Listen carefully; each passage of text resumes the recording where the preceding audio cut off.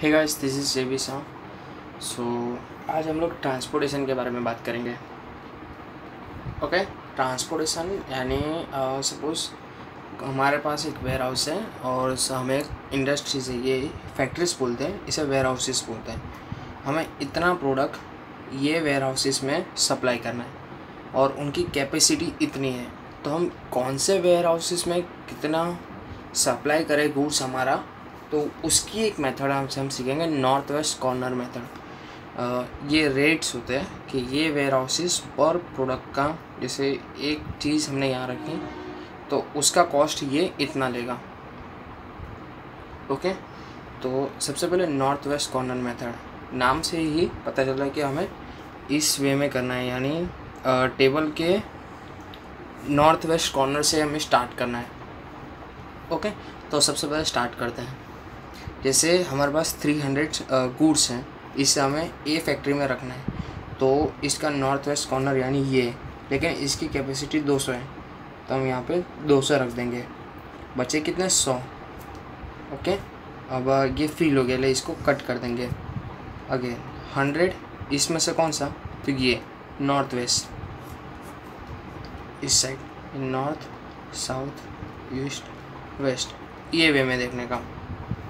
यहाँ पॉइंट से ओके? तो हंड्रेड यहाँ पे हम भर देते हैं। यहाँ पे हंड्रेड की कैपेसिटी ये कंप्लीट हो गया। अभी यहाँ पे हमने गुड्स रख दिया तो ये ऑक्यूपाइड सेल हो गया। ये नॉन ऑक्यूपाइड सेल्स हुआ। अभी दूसरे फैक्ट्री के लिए कौन से वेयर हाउसेस में रखेंगे? थ्री हंड्रेड लेकिन यहाँ पे हंड्रेड की कैपेसिटी है। हंड्रेड रख दिया। टू हंड्रेड बचा। टू हंड्रेड तो यहीं आएगा, कोई और कैपेसिटी है नहीं क्योंकि ये कैंसिल हो गया, ये कैंसिल हो गया, इसकी भी। नाउ टू हंड्रेड इधर, हंड्रेड बचा। ये भी कैंसिल ये भी ऑक्यूपाई हो गया। बचा क्या? इसके लिए सिर्फ़ यही बचा क्योंकि ये तो कैंसिल हो गए हंड्रेड, ज़ीरो ज़ीरो। तो इस तरीके से ये सेल होता है। मतलब ये प्रॉब्लम्स अब ये चेक करना है कि किस तरीके से होता है। तो हम क्या देखेंगे कि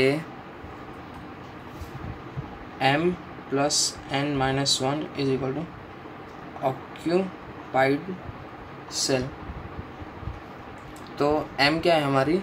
M is horizontal lines and क्या बोलते हैं? एन इज़ वर्टिकल लाइंस तो हमारे यहाँ पे कितने हैं? वन टू थ्री मतलब वन टू थ्री वर्टिकल्स भी हमारी थ्री है.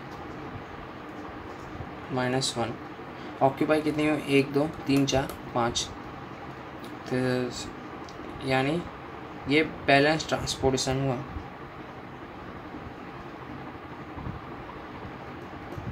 अभी हमें इसका टोटल कॉस्ट निकालना है।